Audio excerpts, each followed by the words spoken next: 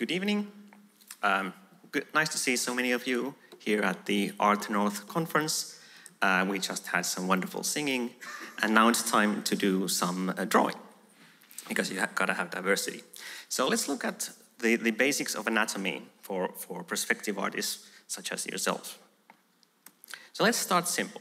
So um, here's a head. So how many, like, you look at this, and you, uh, raise your hands if you can visualize the head. It comes in here, inside the suit, okay? It's, it's else. Oh, you nerds. Okay, so then let's go a bit further. We'll add one line. So you have one line, which is the spine line, and, and again, raise your hands if you can see the, the head and the body as it, as it combines the teeth. Okay.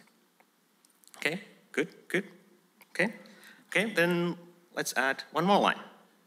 So we have the arms, and now again, raise your hand if you can see that this, uh, you have these arms, you have, okay, good, good, you're getting into this. And then we can add the waistline. And again, raise your hands if you can see this. And this is uh, basically, as you all know, uh, how all of drawing and how all of painting is done, is that you have a very rough outline, and then you uh, improve on that, and you, you polish that, and you polish that, and eventually you get something great. But raise your hand if you can tell from this picture that this you cannot make this work. This is actually a bad picture. Oh, okay, there are a few people. And, and why is this?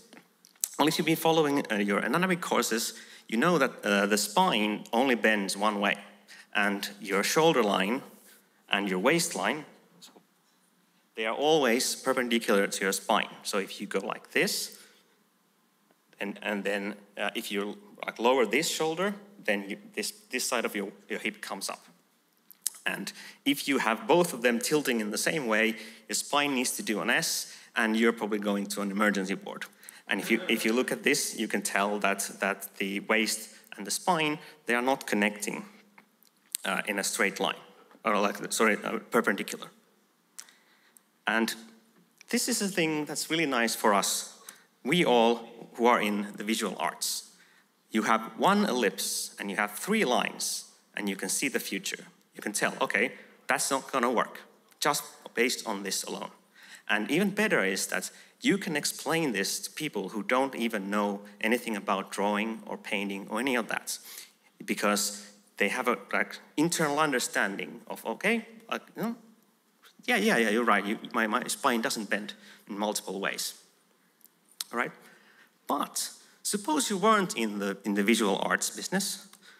Suppose you were a world of intangibileness. So you would have thing working on things in your daily life that you can't touch, you can't smell, you can't hear, and you can't feel.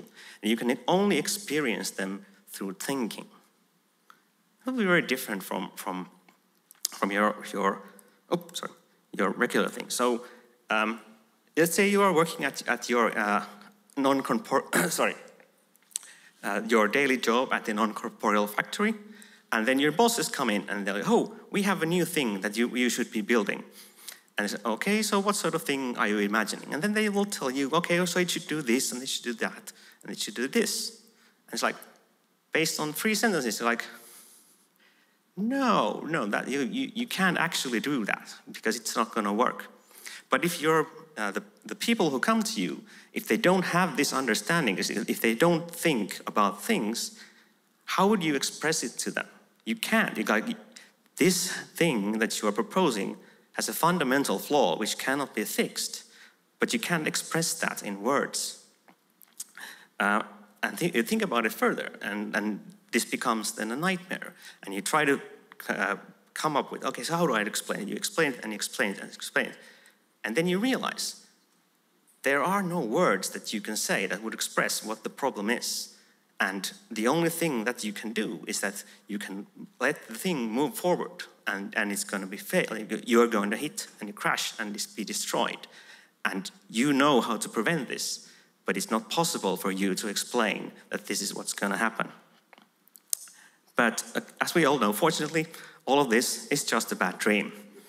Or is it? Thank you very much.